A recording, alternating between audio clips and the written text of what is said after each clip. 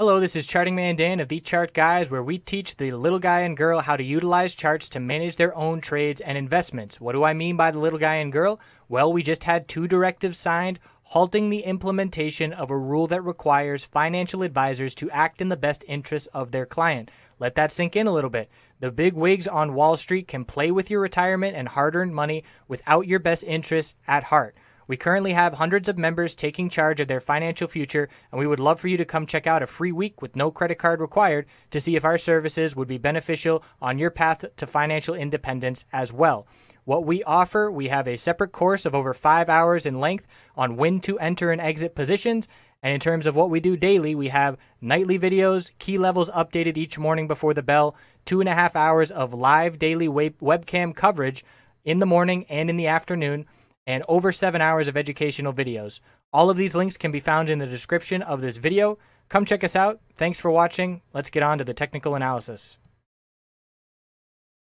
Checking in on the technology sector, Facebook and Apple as well. So the bulls buying the dip, and this chart pretty much looks the same as the S&P 500, with normal healthy consolidation going on. We've got our new higher low at 52.55, then we're looking at 52.27 and 5217. Every time we form a base and see a move to the upside, that's a new higher low to be watching. In terms of resistance, 5286 and 5287, a little bit of a double top the past two days. And if the bulls can get through those levels, 5305 would be the next resistance from there. The weekly time frame, we're stalling out a little bit, but it's only because we've traded one day out of five this week. And it is a potential bearish reversal spinning top candlestick yesterday, but I should say last week.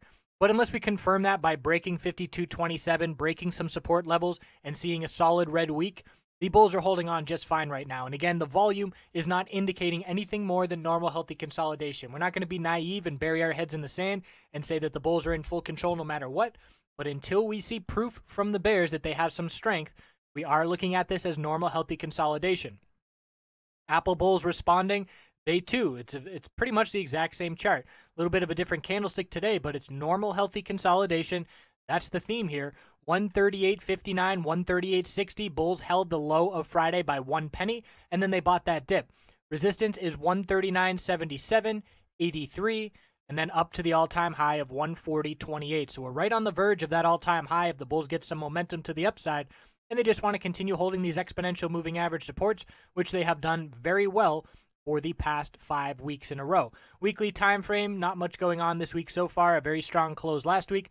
We lost the upper Bollinger Band again. No surprise there as it is ascending so rapidly. No red flags on the daily nor the weekly time frame at this point. Facebook Bulls new all-time high. Facebook this morning was very clearly a lead bull, and we saw that upside when the market bulls showed up. It really gave some extra juice to the bulls, and we headed up towards that all-time high. So we are continuing to form higher lows, higher highs, very contained between exponential daily support and upper Bollinger Band resistance. Right now I'm looking at support of 134.75, 136.08, and resistance is just that all-time high of 137.83, and we'll look at 138 psychological after that. So the bulls still in full control, higher lows and higher highs very clearly the trend, and we'll watch to see if the technology sector continues to the upside. Today we saw the financial sector a lot weaker than the technology sector, so it was the tech sector that was holding the S&P 500 bulls up, and then we saw some rally towards the end of the day with the strong close. So we'll see if that keeps up into tomorrow. Certainly the strongest sector that I'm currently watching, and we will check back in tomorrow after the close. I'll see you then.